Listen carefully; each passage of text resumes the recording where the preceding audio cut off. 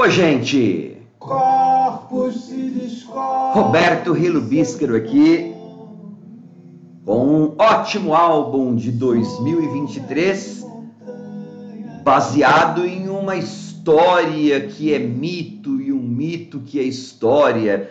Aconteceu lá no Rio de Janeiro em 1889. O álbum chama-se Sabina, do Luca Argel, que é um brasileiro radicado em Portugal há um tempão. Sônica e poeticamente o álbum é muito complexo. Tem assim influência de orixás do candomblé. Tem um site onde o Luca ele descreve influências de cada canção, tá? Tem desde Aldir Blanc, a The Wall do Pink Floyd. De cara assim você pega que tem samba, funk, ritmos africanos, jongo, né? Sabina foi uma vendedora, uma quitandeira, uma vendedora de laranjas nas ruas do Rio de Janeiro, negra. Em 1889, portanto, A saga de Sabina. a saga de Sabina, ah, essa é uma atriz afirme portuguesa que comida não recita, né, declama alguns textos sobre a história da Sabina, tá? Chama-se Nádia Iracema, essa atriz. Bom, ela vendia laranjas, então já havia ocorrido a O chumbo que libertação dos escravos, não sei como se diz hoje em dia. mas não havia ocorrido ainda a proclamação da República, né? E aí, estudantes brancos universitários, ou seja, elite republicana, tá? Porque quem era estudante é, universitário naquela época, eles pegaram laranjas da- do tabuleiro da Sabina e jogaram na carruagem de um visconde.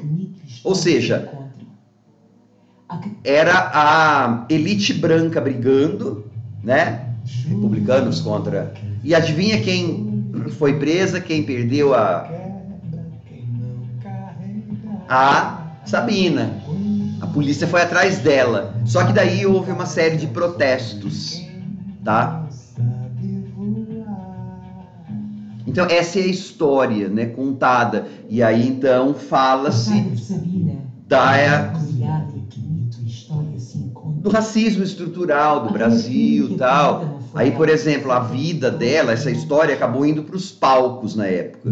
A atriz que representava a Sabina era uma grega branca, né? Então, assim, o álbum e depois quando a gente procura essa história é, na- pela internet, você acaba descobrindo detalhes, né? Então é um grande álbum, dura 37 minutos e muito bem composto, com letras muito inteligentes, assim. É, eu escuto aqui no Spotify, só que ele também tem, gente, no Bandcamp. Bandcamp é uma plataforma bem legal. Tigres. Tigres eram escravizados que carregavam os baldes, tonéis, com os excrementos das casas. E aí então a ureia, né, escorria pelas costas deles e com e aí com o sol batendo ficavam listras brancas, listras mais claras, né, descoloradas, chamam de tigres. Então é um álbum bastante denso. Como eu falei, tem no Bandcamp. O Bandcamp é uma é plataforma legal porque dá para você escutar o álbum várias vezes sem precisar ter serviço de streaming. Depois eles pedem para você baixar o álbum, né, comprar os arquivos. Mas eu acho que eu vi esse álbum também no YouTube. Então, falta de onde eu vi, não haverá. Tchau, pessoal.